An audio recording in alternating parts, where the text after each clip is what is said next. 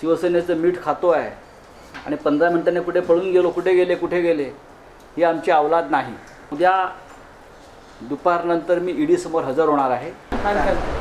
नक्कीच महाराष्ट्राचे मुख्यमंत्री सन्माननीय उद्धव ठाकरे शिवसेना पक्षप्रमुख ज्यांनी काल मुख्यमंत्री पदाचा राजीनामा दिला स्वतः ते राज्यपालांकडे गेले.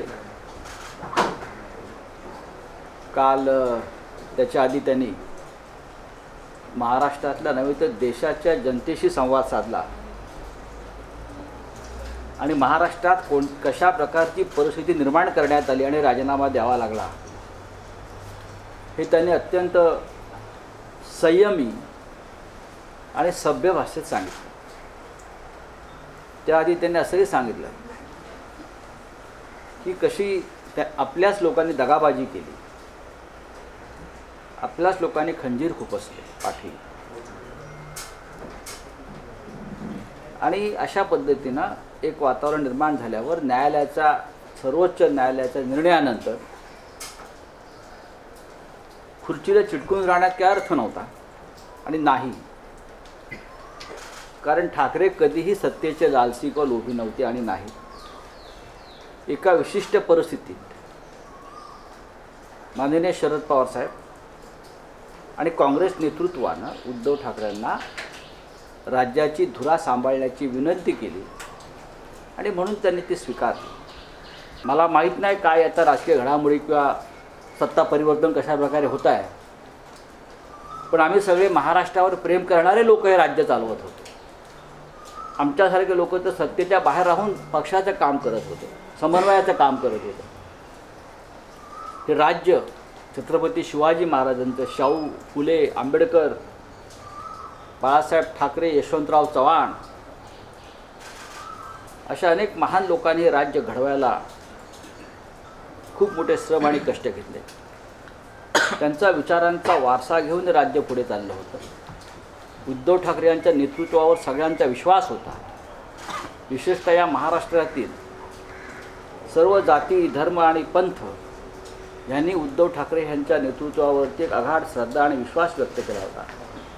स्वतः माननीय शरद पवार साहेब असतील किंवा सोनिया गांधी असतील प्रमुख नेत्यांनी सुद्धा उद्धव ठाकरे यांच्यावरती विश्वास टाकला होता. पण शेवटी हे सरकार पाडण्यासाठी पहिल्या दिवसापासून प्रयत्न सुरू होते. आणि ते कोणत्या प्रकारे प्रयत्न सुरू होते वारंवार आम्हाला लक्षात येत होतं.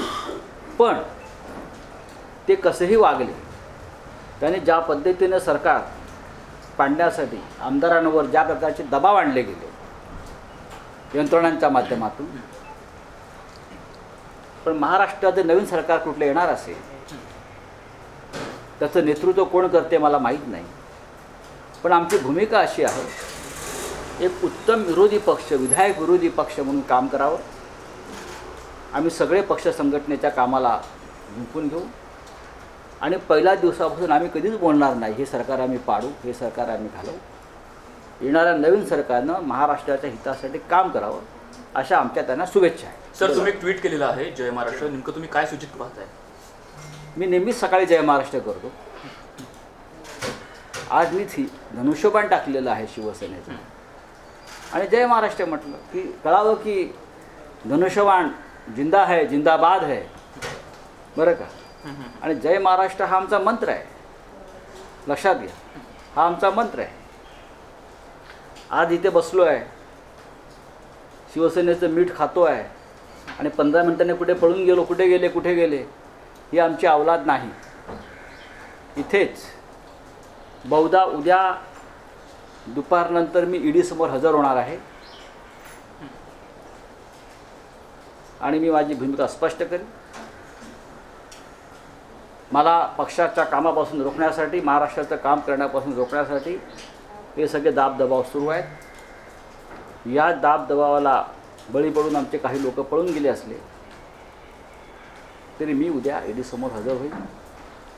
आणि कोणत्याही प्रकारची कारवाई झाली तरी मी त्याला सामोरा जाईल. आणि आज जे महाविकास आघाडीच्या विरोधात तोंडाची डबडी वाजवत आहेत किंवा माननीय शरद पवार यांना दोष देत आहेत किंवा संजय राऊत यांना दोष देत आहेत.